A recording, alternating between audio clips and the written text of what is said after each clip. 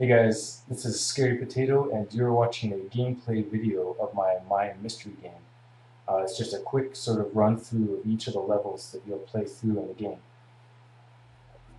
So this is level 1. Uh, it's just a really straight ahead sort of introduction level for the players. Um, it's There's not a whole lot of enemies or anything. Uh, it's just more or less to get the player acquainted with the different items and controls that they're going to be using through the game. So you can see you're uh, picking up little blocks to beat the bad, uh, I call them bug bots. They're the little robots that are sort of strewn about in each level. And there's your first actual weapon. The little ray gun lets you blast through these barriers. It's not very powerful, but uh, it comes in handy. And we go into the temple. So this is level 2, the Mayan temple.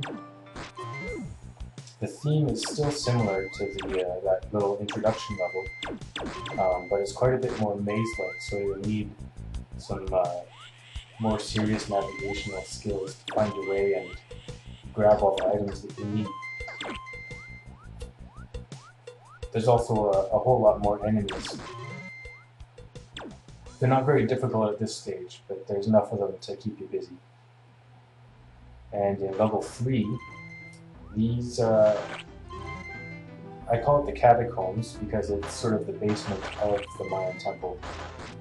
Um, so you get some more weapons and items, and you're going to have to get uh, sort of familiar with water in this level as it's kind of a, a marshy stage.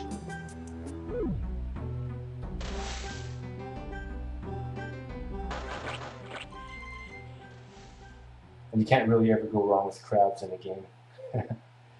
and here we are, uh, the aquifers, level 4.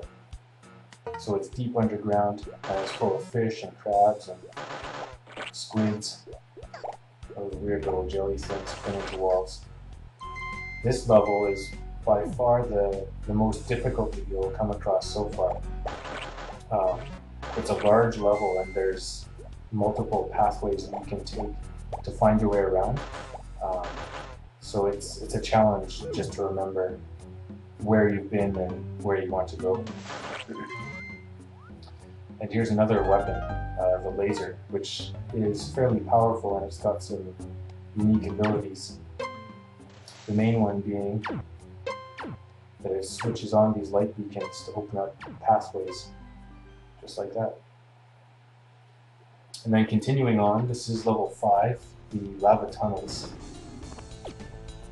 And uh, with the aquifer level being so intense and uh, challenging to find your way around, I figured this one is uh, best off if it's not made too difficult.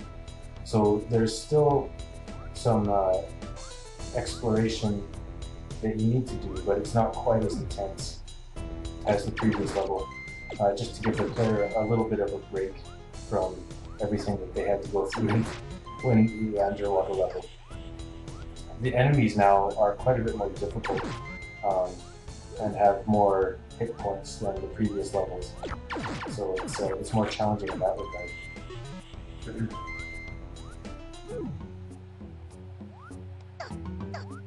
Here we go with the pulsar weapon.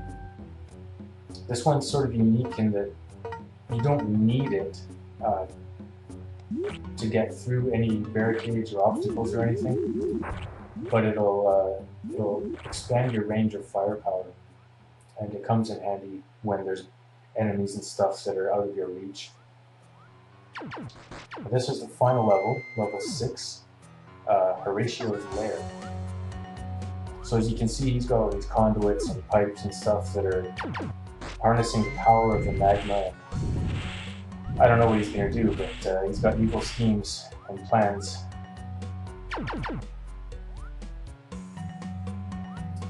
These little conveyor belts are particularly difficult to navigate.